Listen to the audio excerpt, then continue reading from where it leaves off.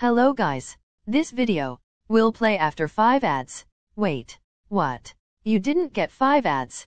I'm challenging you. You can't watch this whole video without getting them 5 ads. Okay. Is this challenge too easy for you?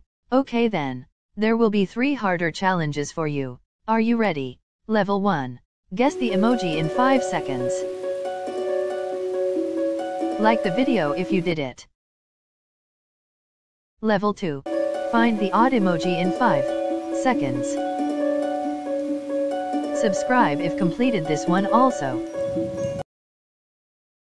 Now the hardest level. Level 3. I have hidden 3 small monkey in this video, so, you have to find all 3 monkey. You can also, rewind the video, to find them.